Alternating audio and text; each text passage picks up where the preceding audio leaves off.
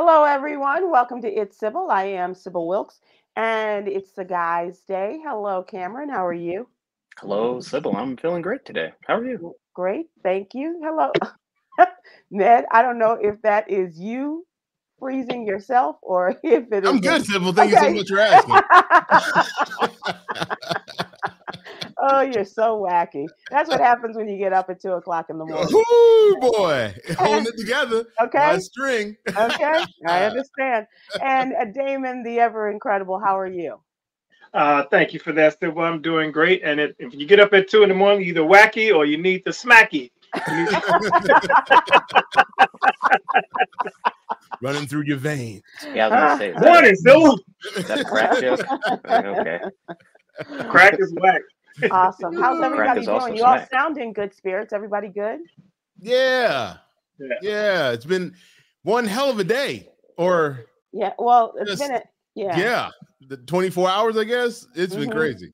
Yeah. So, you know. It's one of those news days, man, that you know, people like, oh, I love, I love when things are happening and, and everything like that. But uh, the tragedy of it all also yeah. affects you as well as needing to you know update and and to get all the the news right and get it in uh so that, it's, that it's, yeah that is lot.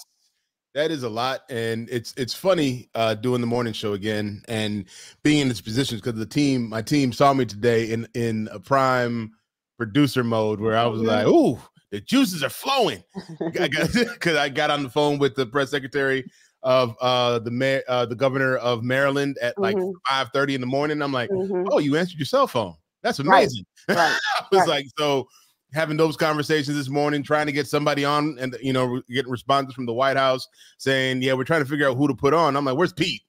Right, right. where's where's Pete? So it was a lot of that this morning because coming in this morning and it happening at 1 You know what? I know we're going to talk about it. So go ahead. I'm sorry. Yeah. Oh, no, no. Uh, but uh, giving people a little bit of behind the scenes kind of stuff.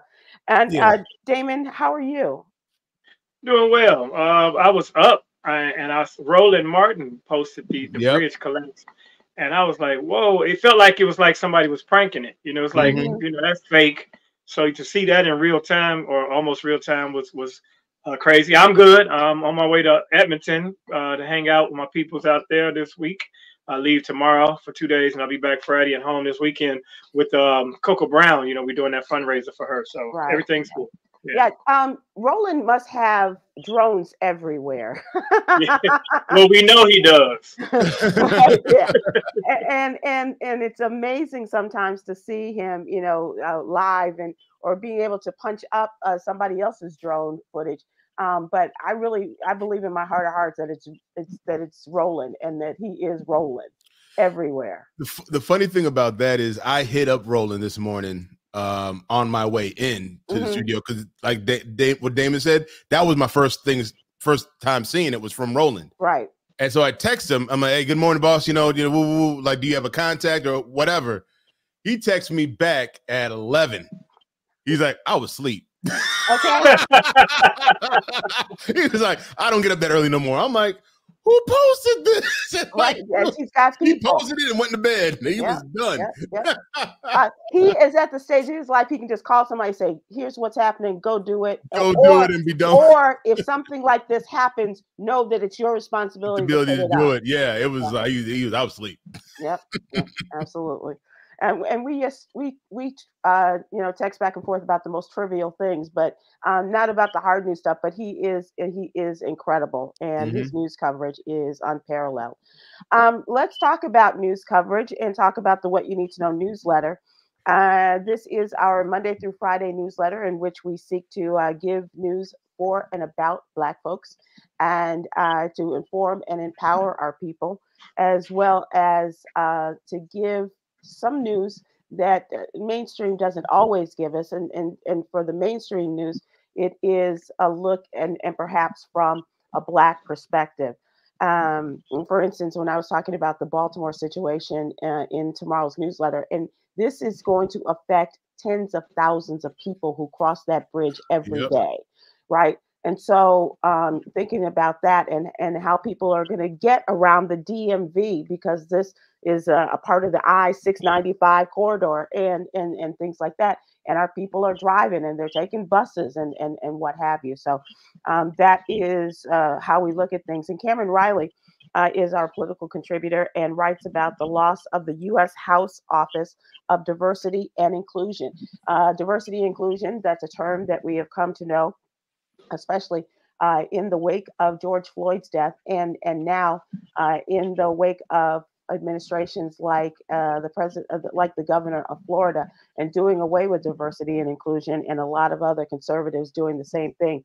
Uh, but now it's it's come to the White House, or, or it's come to the House and their uh, Office of Diversity Inclusion. So tell tell us about it, there, Khameron.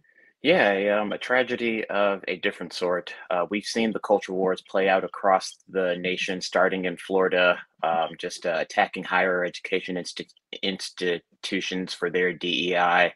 Um, and DEI provides a space uh, for people of marginalized identities to feel welcome, to have their voices heard, to build community, and also to facilitate some sort of ad- advancement. Uh, it was no surprise then that uh, after the racial reckoning that that that was 2020, the United States uh, created the, the U.S. House uh, Office of Diversity and in and Inclusion.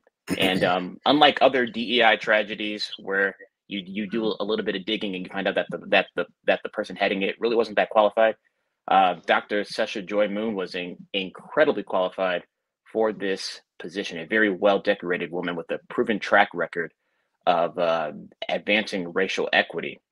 Uh, and the defunding of the U.S. House of uh, Diversity and Inclusion was snuck into this latest spending package. Um, a lot of the talk on this on the surface was whether or not the United States was going to fund Ukraine again and who they were going to give money to to sponsor the dozens of shadow wars that the United States is is, is fighting. Um, but little did I know uh, that it resulted in the defunding of a very important office. Um, and they do the, uh, really uh, great things. Um, they do, yeah. And they and it's not just helping uh, people on Capitol Hill. Anyone can be a part of this this organization and can go there. I mean, they even they will help you with your resumes. They will uh, they they give you all kinds of information about diversity and inclusion, and and uh, in in your job searches and and what have you. And so it really is a shame. But here's a here's and I know it's a thousand page bill. I get that but right. somebody's got to do all of the the the, the dirty work. They got to be there and to parse through all of this and say you know what aides are for? The aides and the all the interns right. and they, right. it's like here here's 100 pages for you 100 pages for you let's let's go. Knock this out. And it might have been you know an aide that saw it and and saw no need uh, you know, I don't know, that diversity inclusion, and they could have been, you know, somebody who's not in favor of it, and and you know, and Let so yeah, well, it's uh, everybody's credit working on that. If it wasn't on tape, then nobody was gonna read.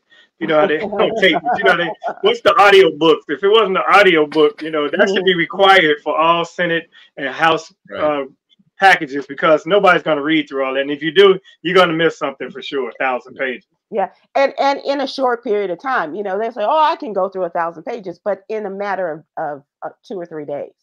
Well, you'll say that, Sybil, but average humans.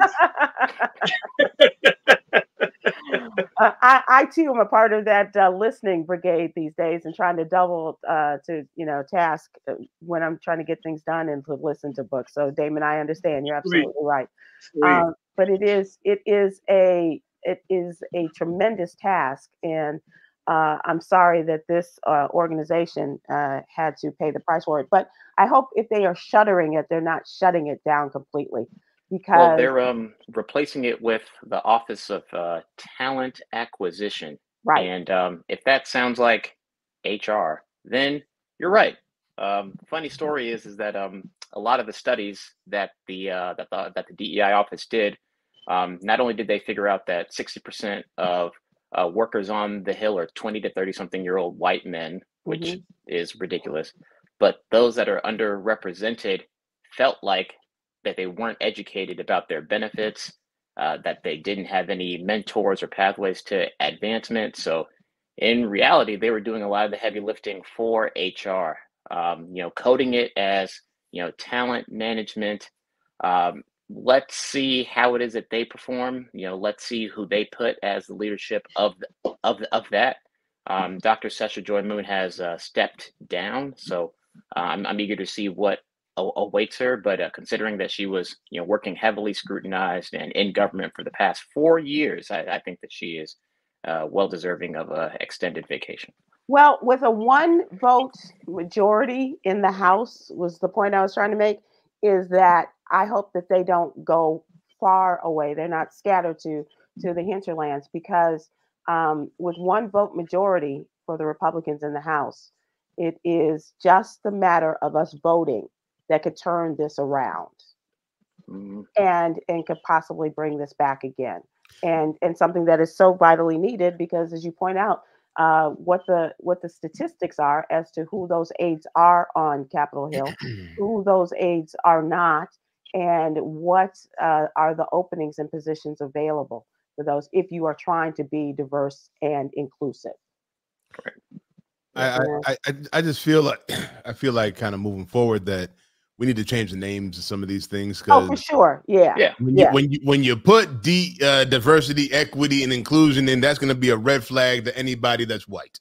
You know what I'm saying? Yeah. Like, and it doesn't matter how how conservative or how liberal you are. Doesn't matter. And, and it's like so. I'm like, you know, there's got to be a way to still implement some of these ideas and thoughts of of because let's be honest, they they they're helpful. They're they're very helpful. Um, you know, for the white people that look at it as a way of of putting unqualified people in just because you're a color. You know what I'm saying?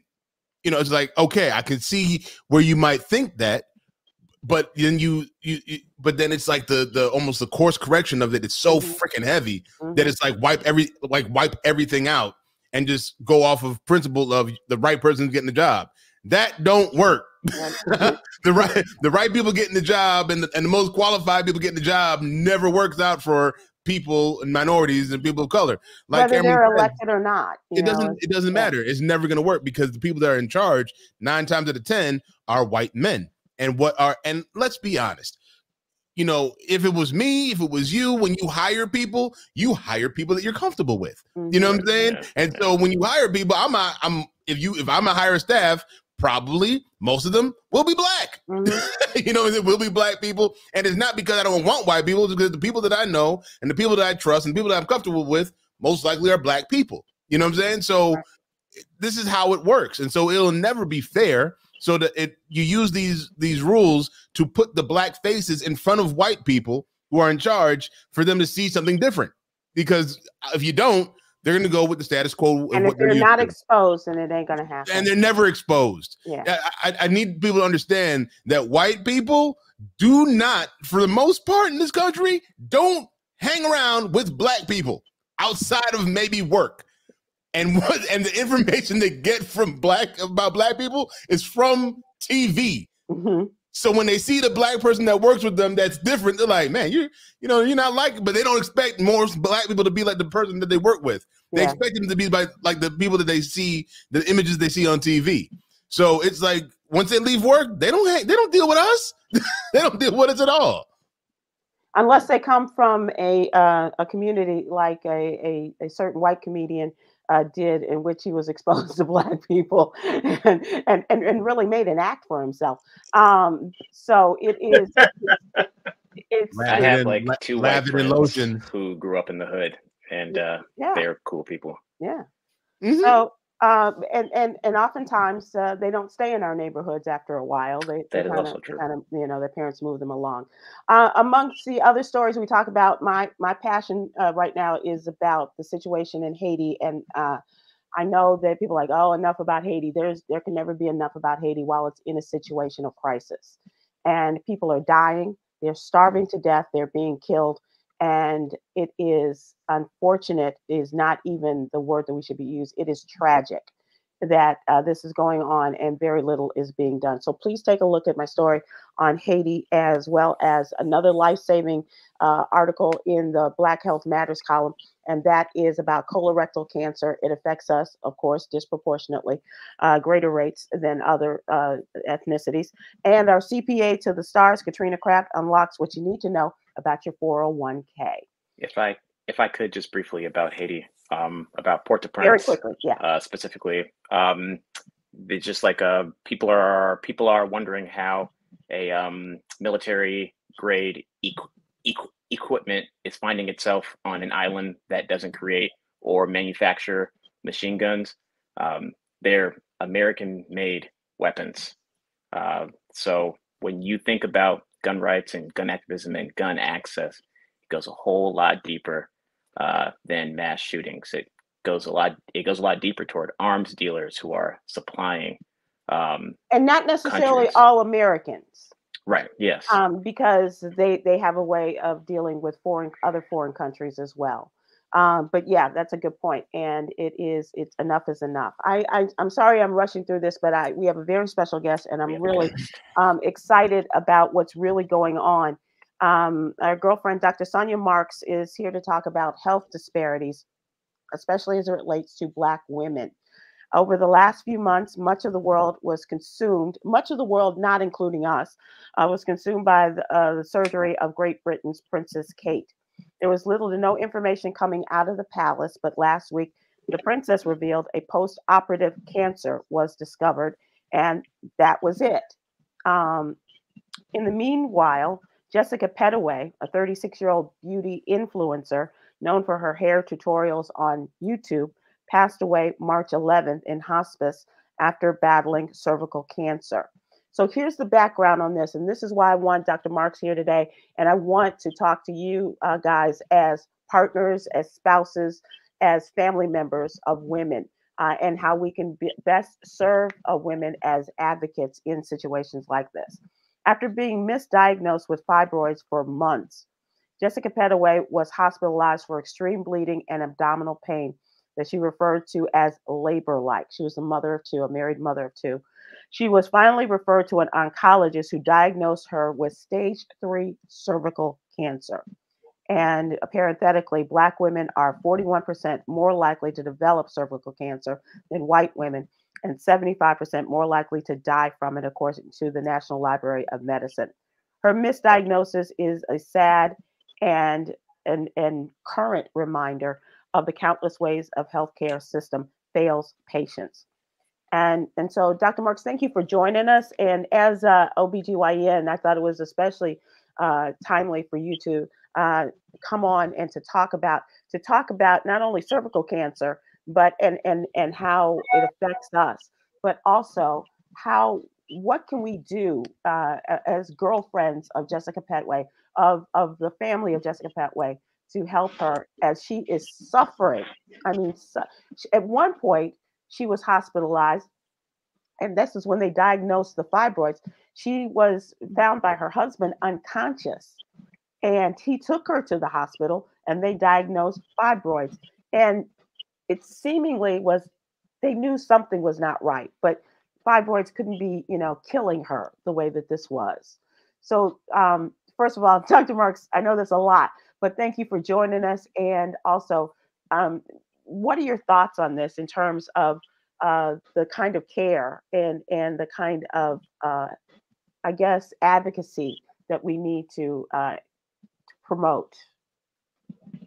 first. Hi, Sybil. Hi, gentlemen.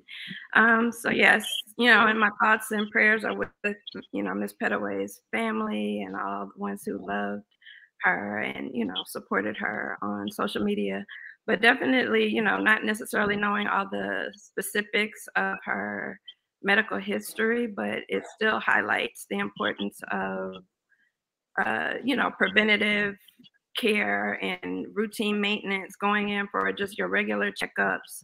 Um, so, especially with cervical cancer, of the gynecologic cancers, that's actually the only one that we can, you know, prevent and detect early through routine screening tests. So, like of all the cancers that women get, that's actually the one that we have some type of early testing that can help prevent the pro- progression to actual um, cervical cancer and catch it early enough to where you typically have better outcomes than what she underwent. So, you know, the main thing would be, you know, going for regular checkups and getting appropriate screening through your pap smears. And um, we have HPV DNA testing. And then it also highlights the importance of you know, getting the HPV vaccine. I know a lot of people are, you know, have their thoughts about vaccines, but, you know, the HPV vaccine has actually been shown to be very helpful in preventing cervical cancer.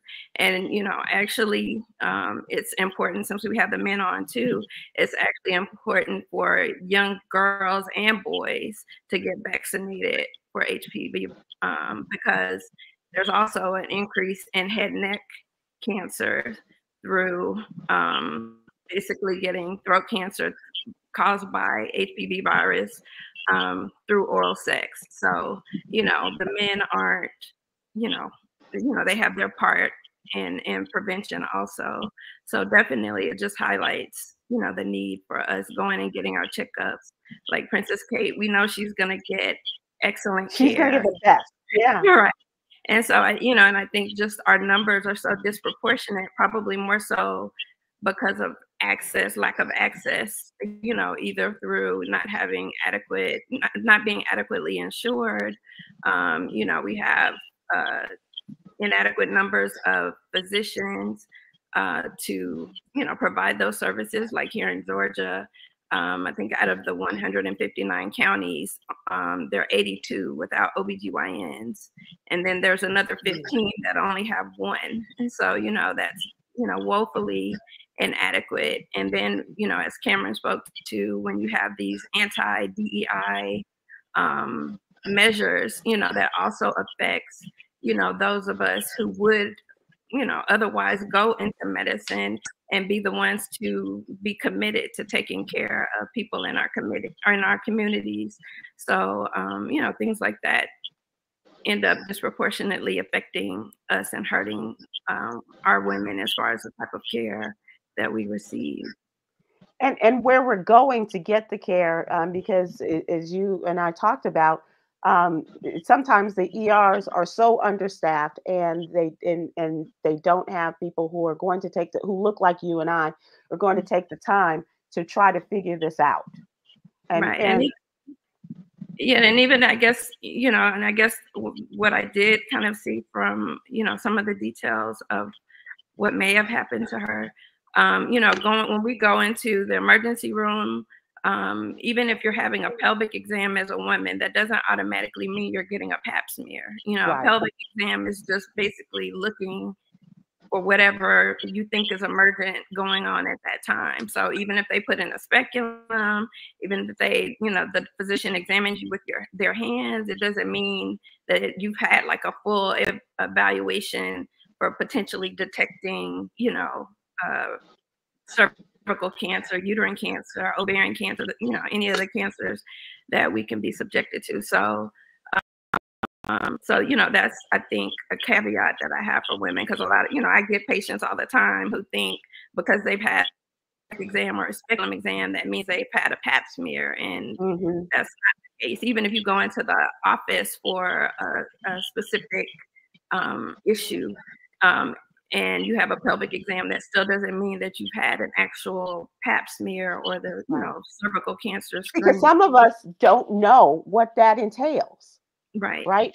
And and and so um, we have to we have to be vigilant about explaining what that is, what it looks like, what it uh, and oftentimes what it feels like, uh, right. and and and how that is how important that is in saving our lives.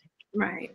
Yeah. So the pap smear is actually us, you know, scraping cells of the cervix or having the HPV DNA testing. Though, you know, you're actually sampling cells from the mm-hmm. cervix. So just because we put the speculum in, if we just look and you don't feel us doing anything else, see us doing anything else, or sometimes if we're doing um, STD testing, you know, we might be using swabs or Q-tips, but we're still not necessarily doing an actual pap smear, you know, which screens for cervical cancer.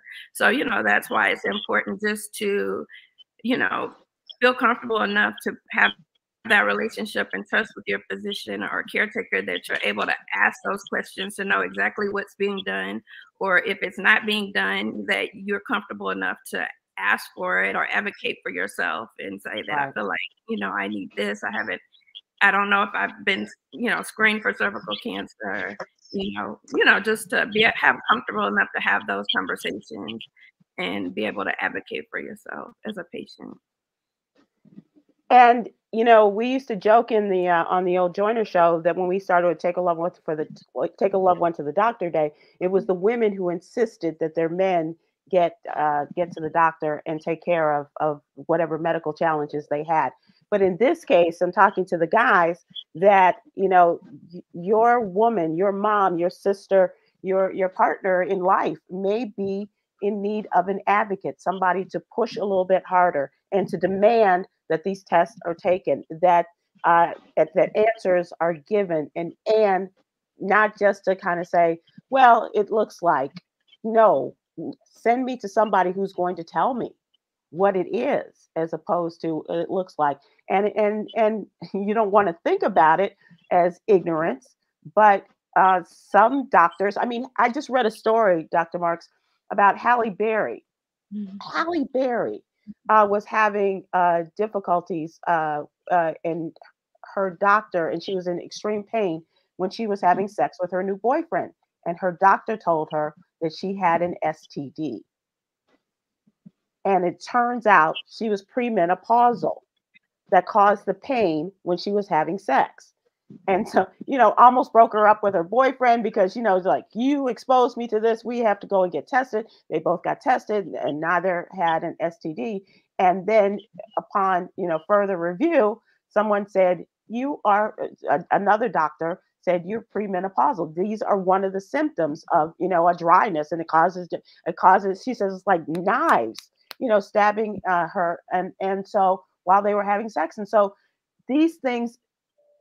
We know that you guys don't know everything, but we do want to know that you have a, a pretty good idea of what's going on, especially down there, um, mm-hmm. you know, in terms of, of our lives, right? And yeah, and sometimes it takes, you know, a series of exams or a series of evaluations to like figure out exactly what's going on. Sometimes we we can't don't know necessarily just from one visit. So that's also why it's important to have, you know, that relationship with a, you know, provider that you're comfortable with that, you know, you feel comfortable that they're going to do their due diligence and then, you know, that you're able to be persistent like, well, no, I don't think this is it and, you know, I'm still having symptoms that, you know, you're comfortable enough to go back or, you know, sometimes you have to go outside and get another physician or a second opinion whatever, but you know, to, to I guess to our defense, sometimes we can't just figure it all out in one right. day. But um, but you want some but you want to feel like you have someone that's gonna care enough to like keep at it until, you know, we have the right answer and the right treatment. And Med, you're lucky because your wife is a nurse. Right? You're you're you're muted, Don. Um, but your wife is a nurse, and so I mean, you might not have to be the advocate so much for her, although it would be nice if. But do you think that you're capable of of pushing forward if she were to get a diagnosis that she felt uncomfortable with? Uh, yeah. well, no, if if she feels uncomfortable with it, mm-hmm. um, yeah, because she would kill me if I didn't. Um, you know, like it's it's it's crazy because you know, with with my wife being a nurse practitioner, uh, being in the medical field for twenty years, um, she don't trust nobody in the it really is. It's like she like their first like the whenever she whatever their first diagnosis is, she's like, yeah, okay. Let me get a second opinion. You know what I'm saying? Mm-hmm. It, it's never just okay. The doctor said this. We're gonna do this. She here's what the doctor says, and then she goes and researches it herself, and then you know she'll come up with what she thinks, and then she'll probably go see another doctor on top of that, and then with all the information she gets, then she moves forward with the discussion. But if she never, if she doesn't feel comfortable with anything or something, uh, oh, please believe everyone will know. right. And that's awesome because a lot of times when people are in a profession, they tend not to take care of themselves. Like you see a lot of hairstylists with messed up hair. You know what I mean? you see a lot of barbers with jacked up froze, you know. So I'm just trying to add a little levity to this little segment. You're doing your job. You're doing your and job. I also wanted to ask: uh, Is there signs that we as men? I mean, we already down there. Is there something we should be looking for? I mean, I'm speaking for myself. I'm already down there. Um, while I'm down there, is there something I can do to help or feel or touch or taste or smell. I'm just saying. Y'all laughing. See, this is a serious question. I'm trying to keep my wife healthy. I'm just saying my eyes are closed usually during that time. So should I keep my eyes open? Is what it the, the, question is.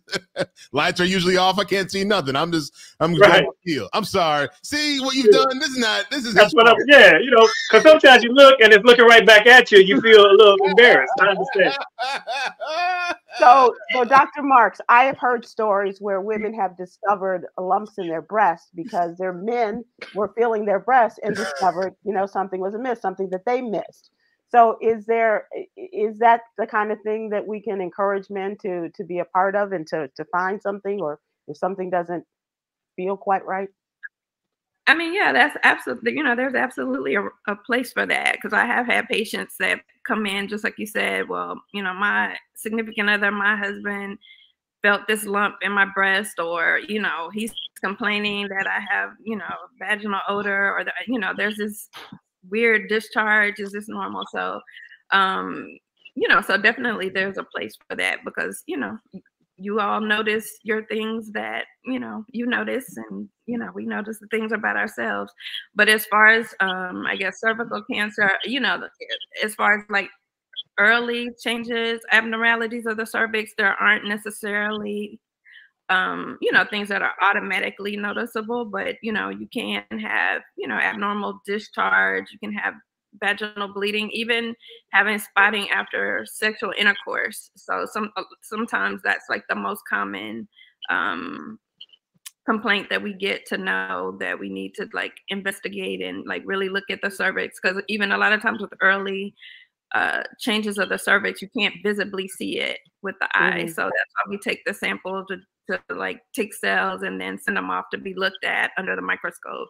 But you know, spotting after sex definitely is a sometimes a common early um, symptom that something unusual is or abnormal is maybe going on with the cervix.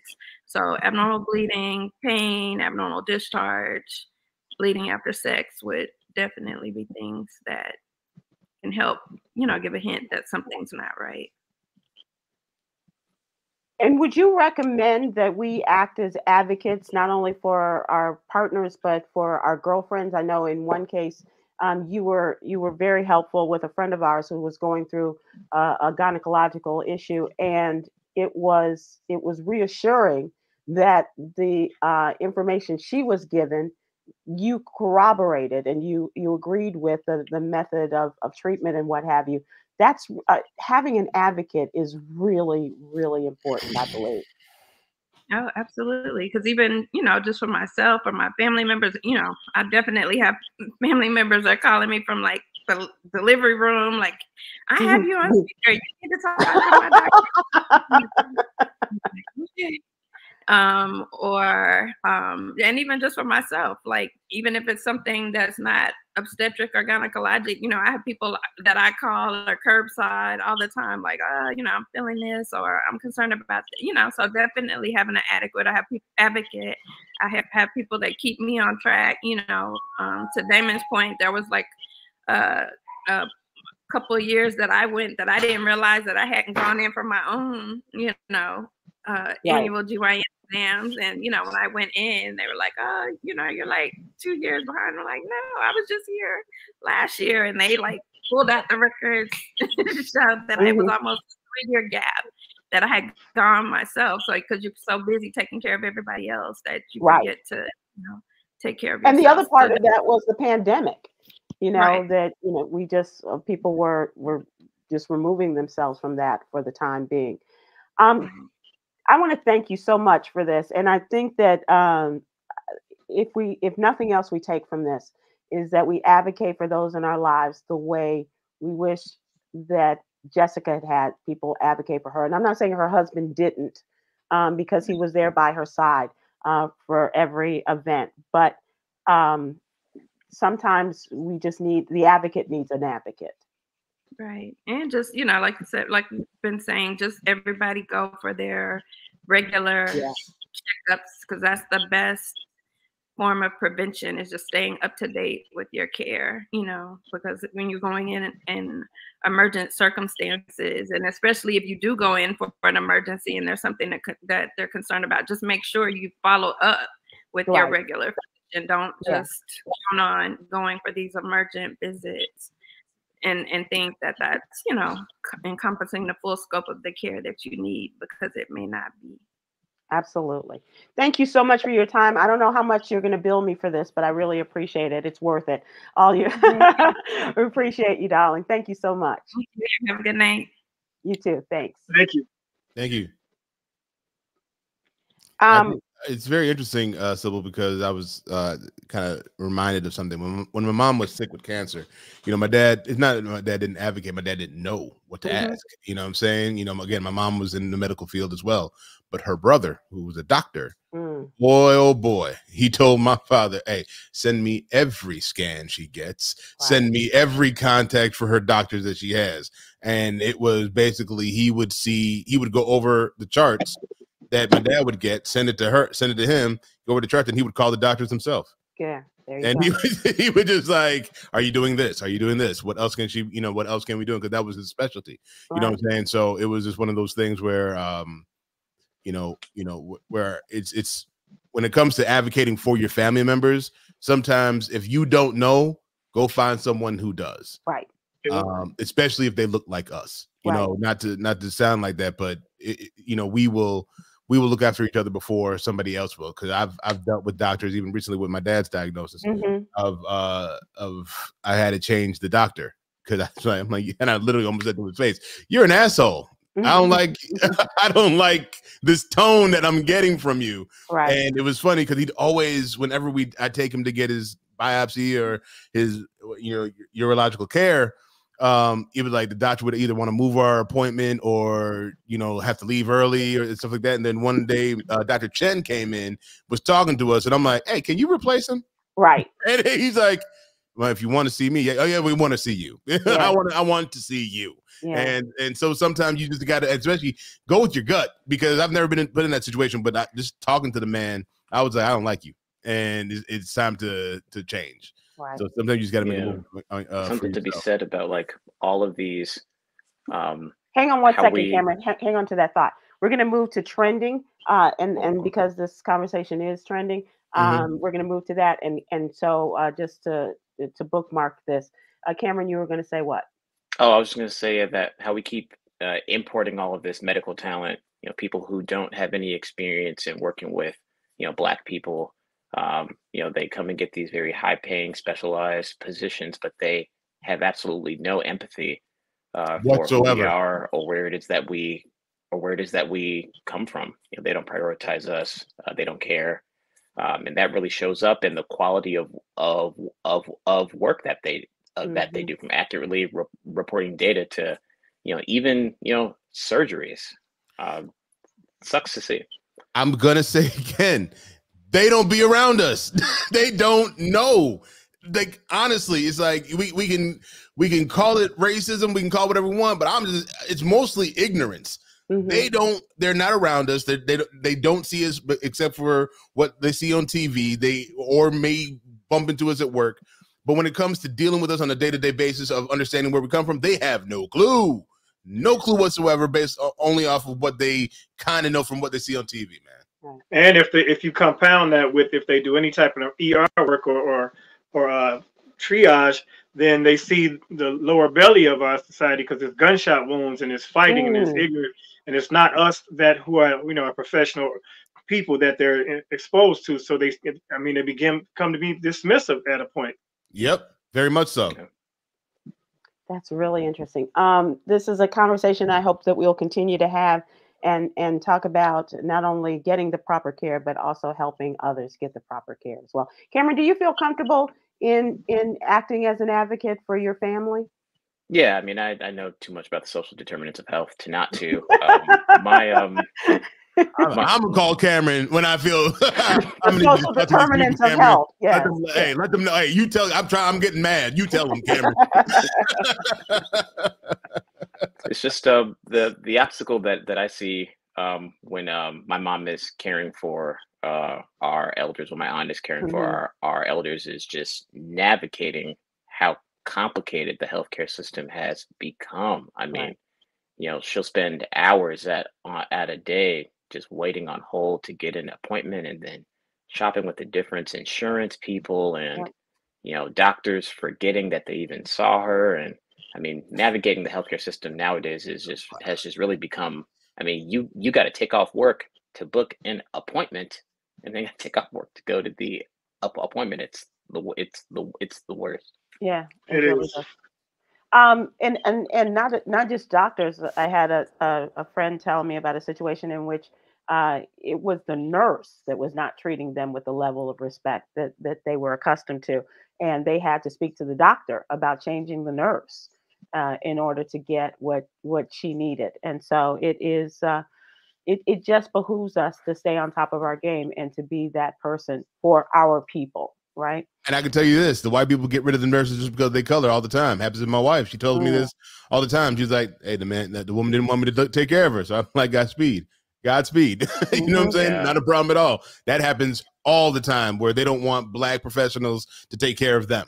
Yeah. So you know, it is what it is. It is. Yeah, we should free up free up the black people to take care of us. Exactly. Lord knows we Um, let's talk about what's going on. Uh, Damon, you mentioned that you are on your way to Edmonton and you're coming back. You got a big weekend and uh, and and going to help out uh, our friend Coco Brown. Uh, yes, uh, literally, um, what we're doing is it's almost like a comedy uh, fundraiser. You know, I, I, booked her just specifically so we can put some money in her pocket and get her you know, toward her recovery from her house fire. Not to play on that, she's already a super talented comedian. Mm-hmm. Uh, so you're right. coming for a great time, but you also can help by coming. But if you can't make it, you can buy a ticket. You can go on DamonWilliamsComedy.com and get a ticket if you want to help support that. Um, but also G Thing, who just filmed a groundbreaking special, uh, is coming to town just to work out because now after we do a special, you got to get more jokes. So he's coming to do that. Uh, Howie Bell's coming in and a lot of Chicago comedians. I also want to acknowledge and, and, and, and just give kudos to Just Niche, Tanisha Rice. Oh. We just we just attended her taping at the Chicago Improv, a, a self-funded special that she did a, a you know, crowdsourcing, and we filmed it, and we and she slayed it. First, it's very groundbreaking. It's innovative. She did a selfie style where it's the camera is over her shoulder, looking at mm-hmm. the audience, and there's other aspects to it that have never been done. So once it hits she is out of here. Trust me, because she nailed it flawlessly. So shouts out to Just Niche. Where do and, I know uh, that yeah. from? Uh, that name sounds familiar. Where do I know her from? Is there she does stuff online? From doing comedy. Yeah. No, I mean, I mean, does you do? Does you do? I, I just feel like just niche. I've, I've heard her before. Well, she was in she was in Atlanta. She's been in Atlanta for a couple of months, uh, writing for Miss Pat for the Miss Pat show. That's what. Um, okay. She was on Hart of the City with with Kevin Hart, but she's been grinding since day one. So my wife and I have really we sort of adopted her the first right. time we saw her. We're, we're, her like her godparents, and mm-hmm. to see our baby flourish, she is killing the game. So look out for that. And yeah. I got to tell you, um, a lot of comedians claim it, but uh, Damon is a man of action when it comes to encouraging Absolutely. female comedians and uh, you know Absolutely. nourishing them, as he said, and and helping them grow and and take it to the next level, as as he has demonstrated. So good on you. Thank you, sir.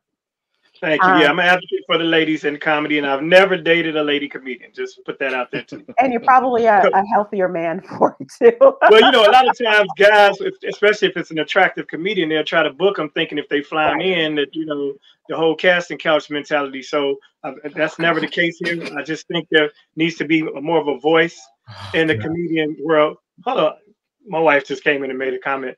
Who? Me. Oh, my wife said, yes, I have him. See, well, I married one, but I never dated him. yeah, my wheels started turning like, hold on. Um, Show me the Carfax. That is hilarious. She is funny, and her timing is excellent. And you say that all the time. Absolutely. Yeah. Absolutely. Oh man, oh, I, I thought I was in trouble again. Oh, here we go. um, as we mentioned earlier, uh, a horrific uh, collapse of the uh, bridge in the uh, in uh, the Baltimore. Uh, port overnight. happened about 1:30 this morning. And I always think that the worst things that can happen are like hurricanes or or tornadoes landing in the middle of the night in in pitch darkness. And this is the case where uh, a thousand foot long cargo boat was carrying vehicles. They were on their way from Baltimore to Sri Lanka. Mm-hmm. And there there appeared to be some sort of power problem on the boat. They said the lights flashed on and off. Mm-hmm. And then um, the whoever was uh, manning the communications device said Mayday, called out Mayday. And it was that Mayday that may have saved untold no uh, untold numbers of lives of people who were crossing the bridge and they said one person had the presence of mind to stop the traffic and uh, unfortunately uh, there was a group of construction workers who made it past his point uh, before mayday was declared and uh, they are now presumed to be lost mm. um, and and they they spent you know from the time this happened as, as i said it was 1.30 in the morning so mm-hmm. figure about 1.45 until uh until dark uh today and uh the crews were searching um, uh, emergency technicians and what have you and and uh, all of the folks uh, with the marines and the navy and, and what have you uh trying to find out if they could find these people. One person, uh, two people were recovered. One person didn't even uh, require a hospital stay. A second person is, I believe, still in the hospital. Um, but this uh, caused this as the boat hit to the the important part of this bridge of this span. Um, the whole thing just collapsed. It was almost like it was like it was aluminum foil or something. Yeah, kind of just all you know submerged into the water in the frigid waters of mm-hmm. the Patapsco River, along with people and vehicles. And as I said, over the last hour, six people to be uh, believed to be a part of the construction crew. They were out there to repair potholes on the bridge, are now presumed dead. Uh, and um, it is it's horrific. And and and one thing that I point out in in the story is that you know everybody says uh, the pres when the president uh, Biden came into office, he said one of my goals is going to be to improve the infrastructure yeah. of this country. And unfortunately, you don't get a lot of it's not a sexy improvement to make, right? But it is our roadways, it's our bridges that are that need all of this improving or or to do over. You don't want to wait till a horrific event like happened in Minnesota where the bridge just collapses. Collapsed on its own. It, right? Yeah. Or, or the or train that, tracks. Yeah. Mm-hmm. Absolutely.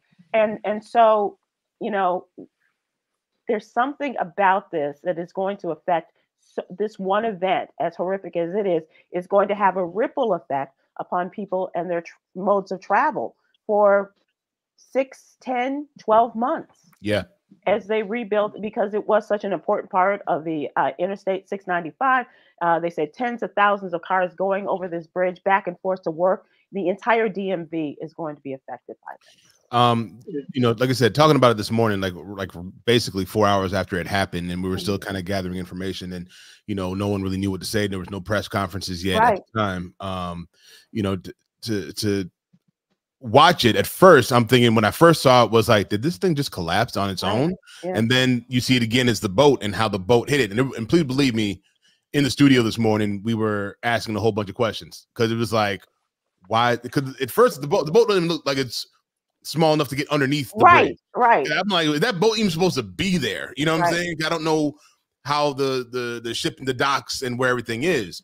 And, and, then to see how it just perfectly hit that last stanchion mm-hmm. um to to knock out and to watch it just crumble like that was insane. Well, I, I saw an interview where an uh, engineer, uh, structural engineer expert had said that the way that bridge was built and how long ago it was built was not uh, conducive with the size of the tankers that have increased and, mm-hmm. and the, mm-hmm. the, cargo that goes mm-hmm. underneath it nowadays. And that's why they were supposed to be fortifying the, the bridge at some point. But even back to Obama's initial uh, term, he was talking infrastructure and trying to do infrastructure bills, and, and the Republicans were against it just because it was him saying it. Yep. So it's, it's very unfortunate. And it's unfortunate for like anybody that was like not supposed to be where they were last night and they couldn't get home because he was on the other side of the bridge, and she like, "Where are you?"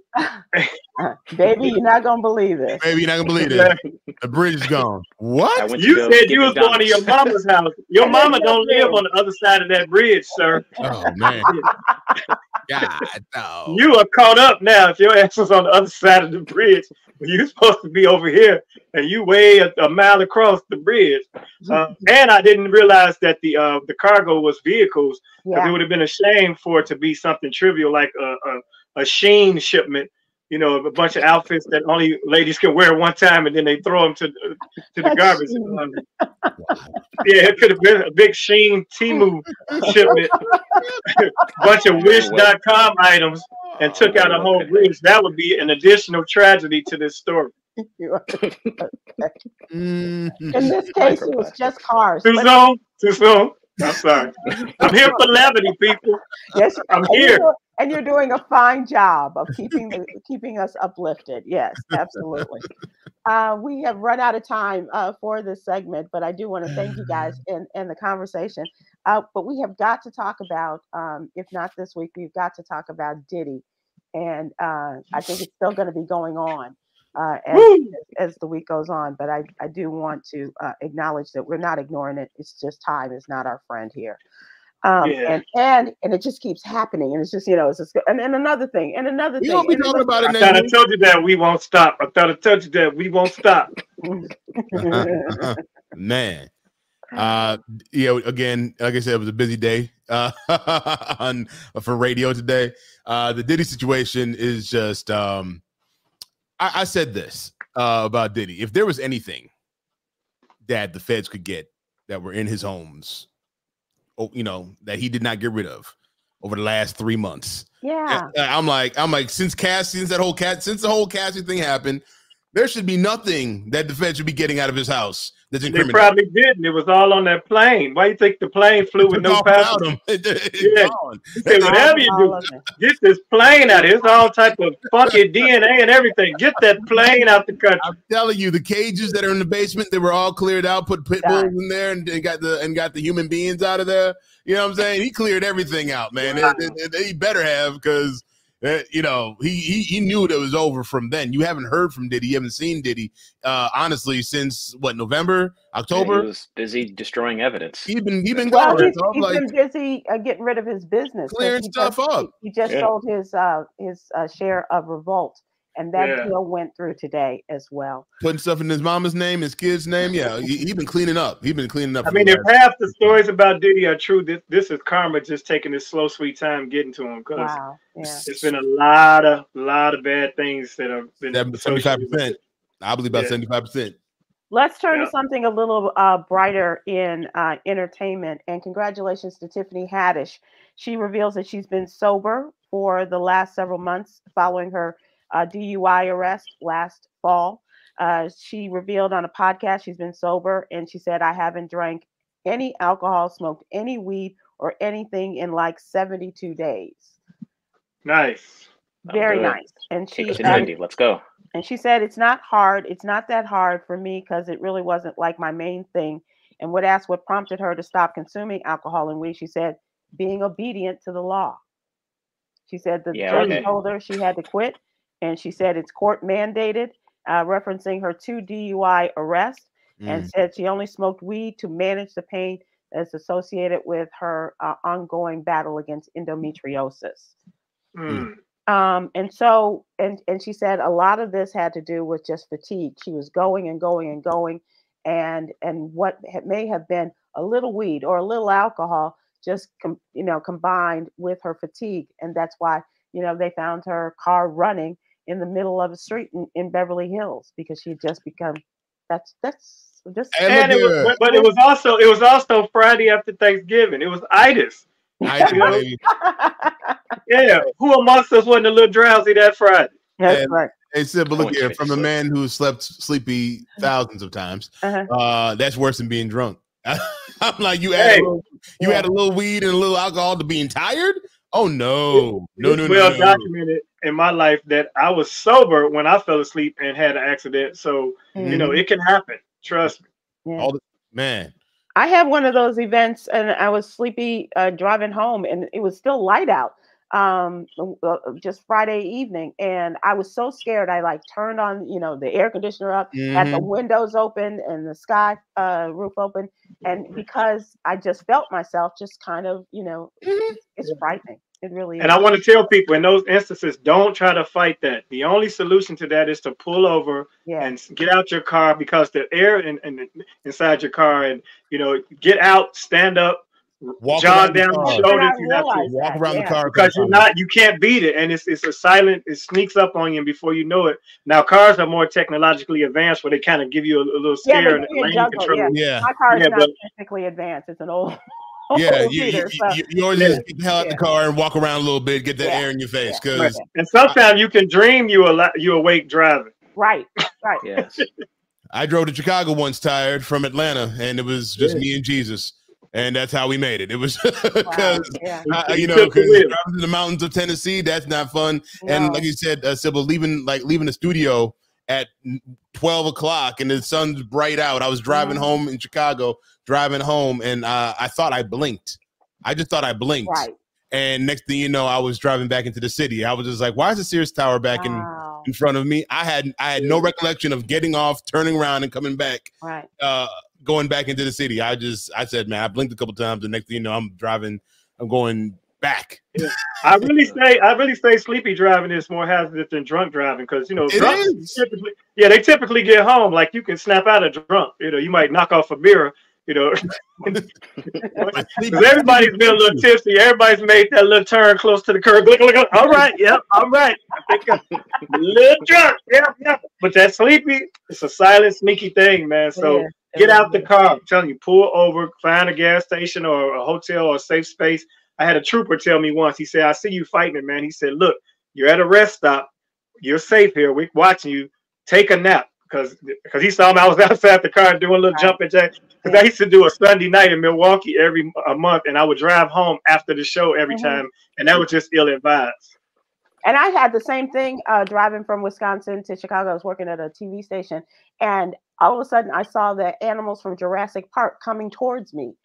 the animals, the, the, the animals on the, the, the yeah. stoplight yeah. on the expressway that's, gotten me a couple times. They were all coming at me. And I was like, yeah. oh, I gotta stop. I the gotta hallucinations yeah. when you're tired. Like my wife is asking, what are you doing? Stoplight. What? We're on the expressway. I'm sorry. Let me pull over for a second. This time and that stoplight is that stoplight is not your friend either, because I've had an occasion. I swear I've had a lot of them misses where you know you see that yellow light, you're like, oh, red, yeah, I can go ahead and uh, close it down. And I drifted right through the intersection.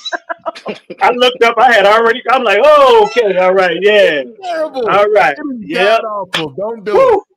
Yep. Thank God it. they have the, the little ruffles on the shoulder of the highway. Those keep you up sometimes too. Yeah, Saved my true. life once. That's true. Um, yeah. We're going to close out with uh, Yogi's Jewel. Good health enables us to enjoy our lives with min- minimal physical limitations. Let me do that again. Good health enables us to enjoy our lives with minimal physical limitations. Uh, we are talking about good health and life's essential eight. Check out our program coming up on Thursday evening with uh, Guy Torry talking about Life's Essential 8 and our uh, representative of the American Heart Association. Thank you guys so much. It's been a great show. I appreciate you. And we'll see you all again next week. Take care. Aloha. Holla.